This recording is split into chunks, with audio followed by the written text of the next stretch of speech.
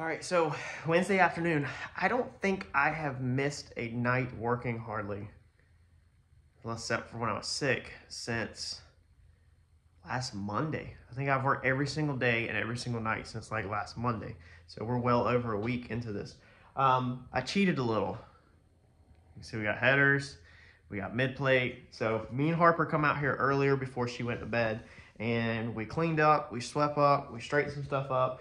We mopped the headers up on the engine, and I'll show you that. Uh, we slipped the engine in the car. We figured out how low we can go back down with these headers and how high we need to lift the mid plate from how high everything used to be, basically.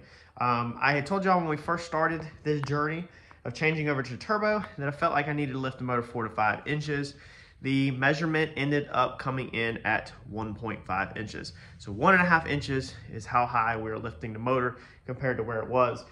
This is gonna keep everything like that's already done wise, drive shaft, all that stuff. All that stuff can be adjusted. That's not a big deal. Um, you know, but if you go too far out of whack, it just makes things harder per se. Uh, so I think this is a really good number that we ended up falling with, 1.5. These headers are amazing. Let me show you them, and I'm going to tell you where I got them from. All right, so the company that we got these from is BL Fabrications, right here across the bottom of the screen. They are out of Florida, Tampa, Florida. So huge shout out to BL Fabrications. Um, I'm absolutely in love with these things.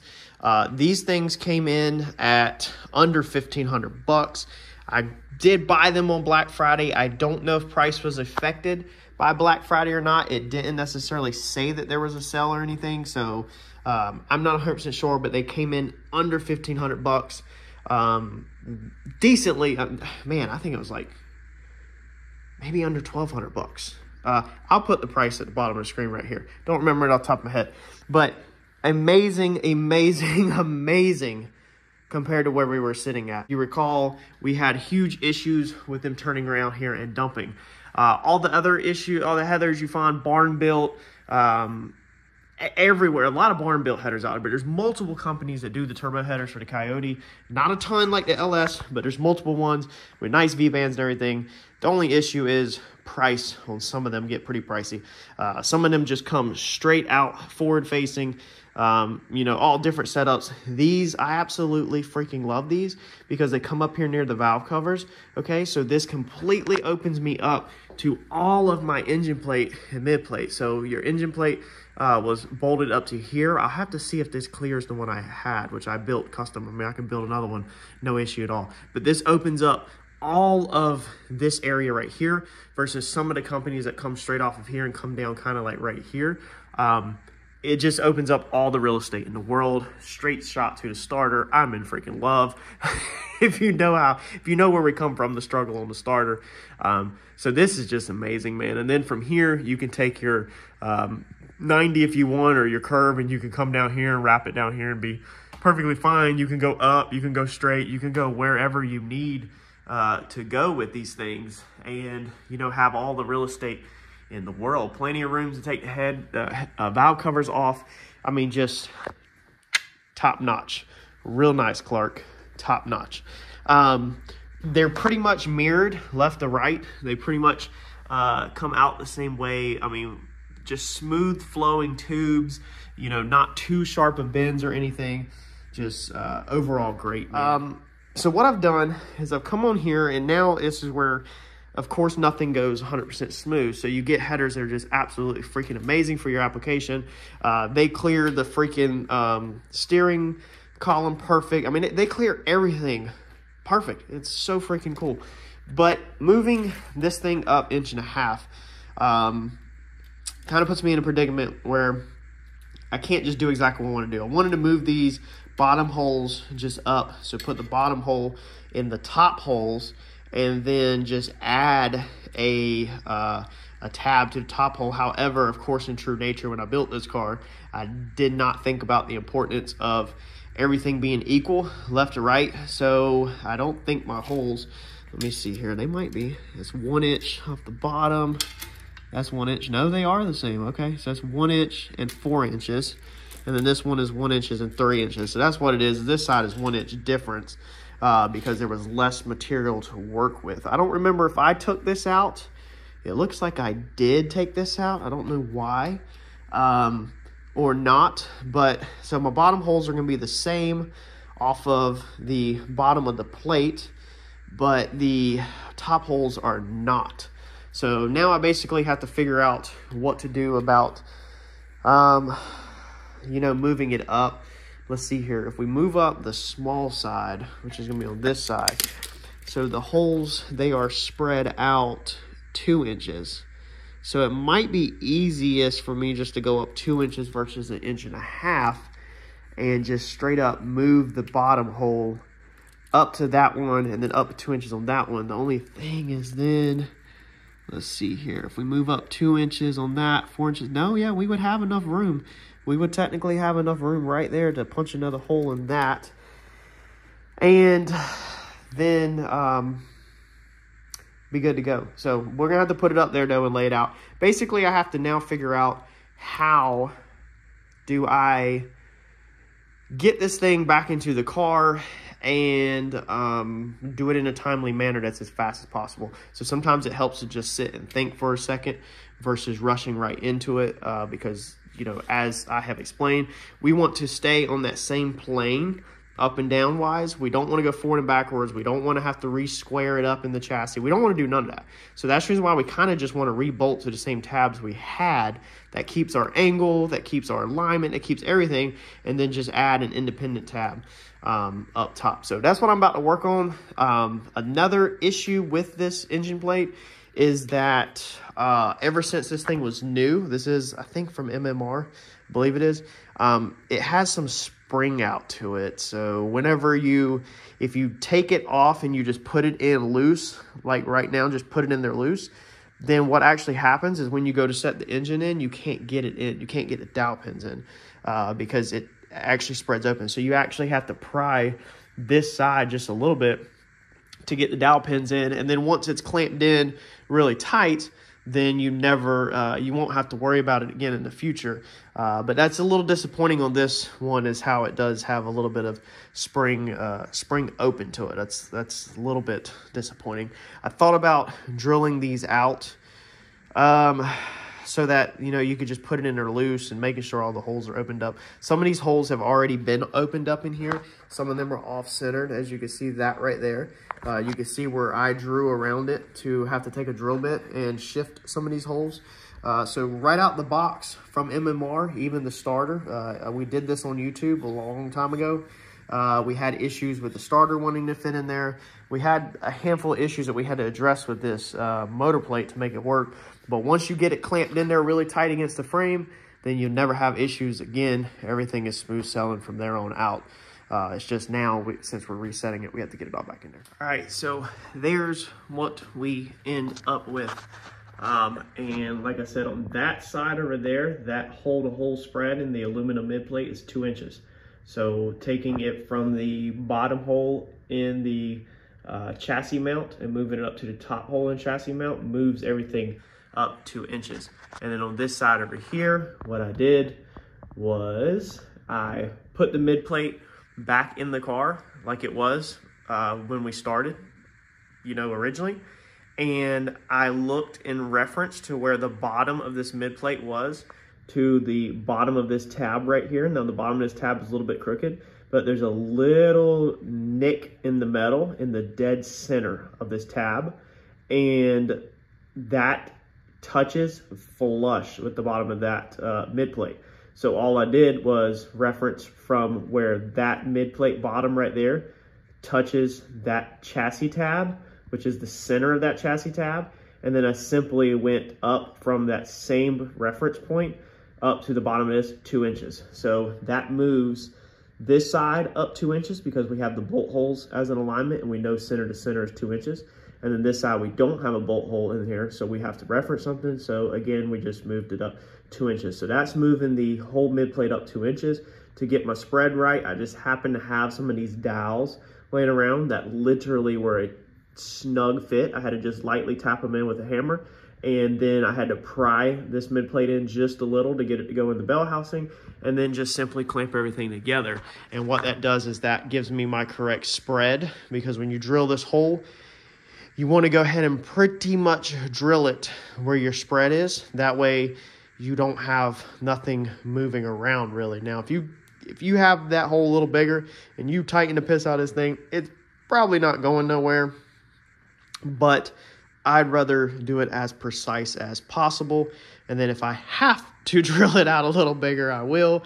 But I like to try to be precise right out the gate as much as I can. Um, so we squished the mid plate, made sure we're tight to our bell housing all the way around. So that's important in my situation because of the mid plate spring open. So we want to make sure we're squished up tight.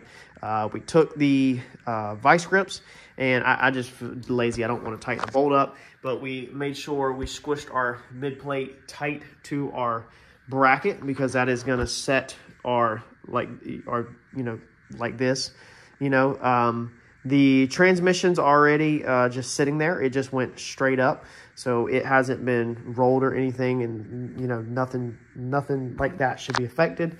So all we have to do is um, now just simply make some tabs for the top. So uh, now that I see where, we're, where we need to be at, we will take the mid plate back out the car again, because this was just mock up to get me an idea of exactly what we need.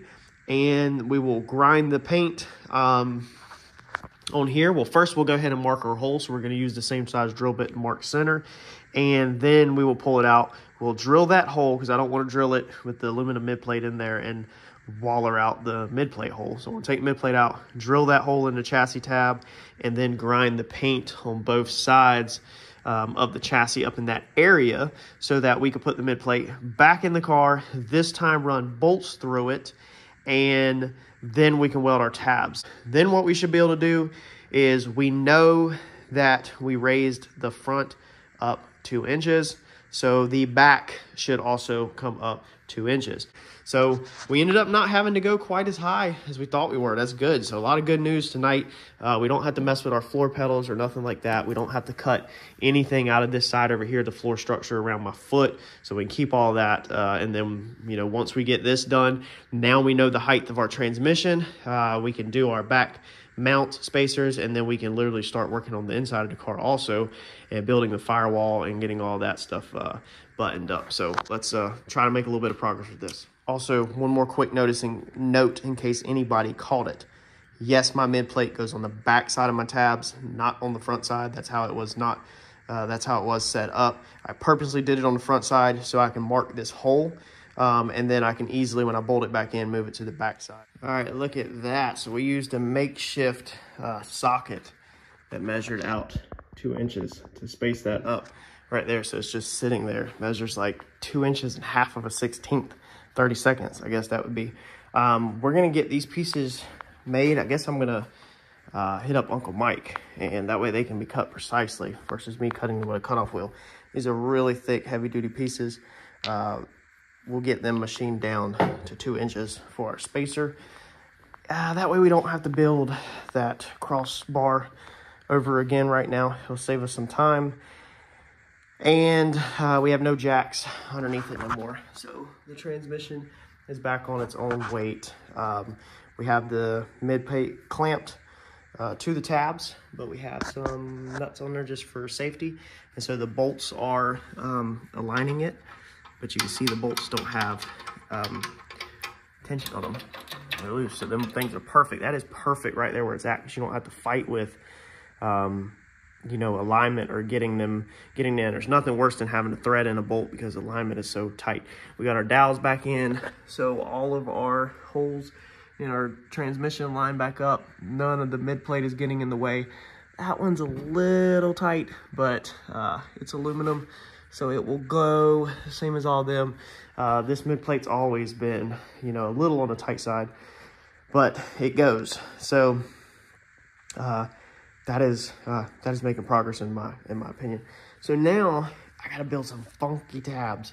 So I went ahead and grinded all this out. So whatever I come up with, I can put them in place. But unfortunately, my bolt hole is lower than the edge of frame rail. So I've got to build like some L-shaped uh, tabs pretty much because I don't want to, uh, they're not really gonna weld to the face. I mean, I could weld some of it to the face. I grinded the top of this, you know, right here the best I could. I guess I could scratch the rest of that off, uh, but it still probably needs to be like some kind of L-shaped tab. I wish that I would have made these tabs a little higher because and spaced my holes out a little bit more because then I would have had it uh, perfect on this one. But um, yeah, so next step, build some tabs.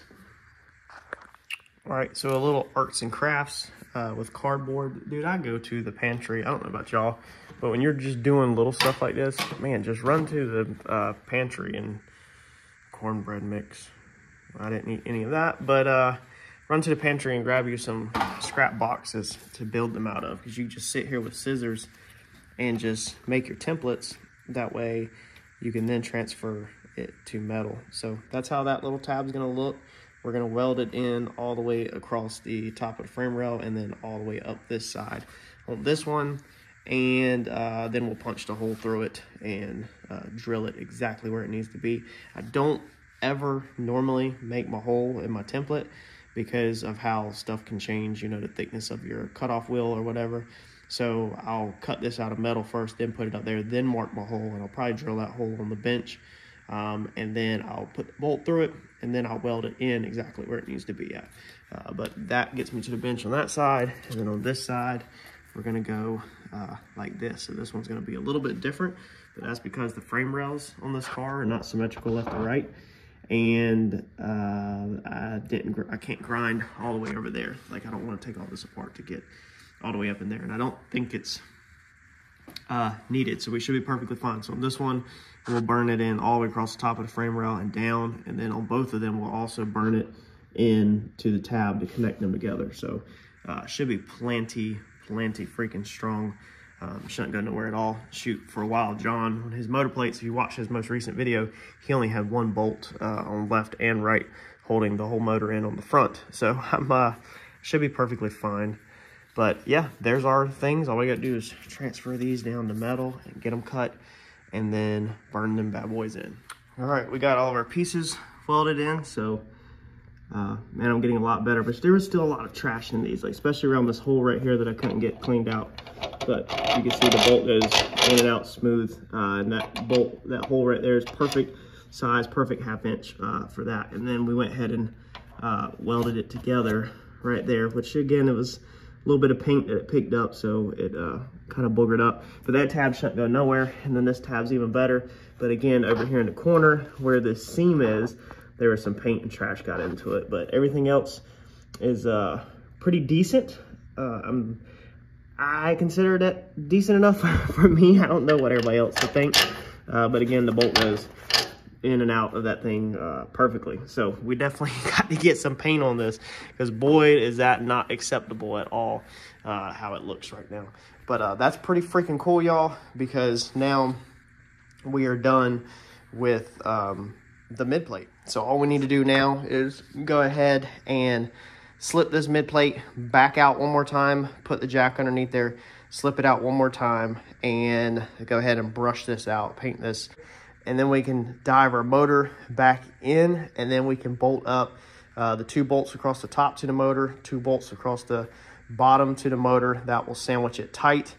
Put our spacers in the back, so we'll get them, I'll drop them off with Mike tomorrow, and get uh, them cut down precisely or find out if he knows somebody and bolt that up and then once the transmission is hard mounted and the motor's hard mounted to it then we can start working on our uh, strut towers hopefully this weekend and through bars and uh, get our front plates our motor plates uh, set up where we can bolt the motor actually back in the car so make sure you are subscribed, make sure you smash that bell or that uh, bell smash the bell button for me if you're subscribed. That will let you know every time we upload. I've been trying hard for one video a day. It's a lot of work on my end to work my job, plus work on the car, plus film what we're doing on the car, plus edit what we filmed, plus upload it, get it out, do the thumbnail, do the description, do everything else that goes on the YouTube side. It is a ton of freaking work uh, to do, but so far we've been on a freaking roll. Um, now that the transmission is mounted. Once we get the motor mounted, now we're gonna be able to jump back and forth from the interior to the exterior, you know, as we get stuff and really hopefully be able to make progress pretty freaking fast. Uh, I gotta order some more parts tonight, order the V-bands for the headers, and man, we're gonna be mounting a turbo really soon, and I'm gonna show y'all what we picked up. Thanks, y'all.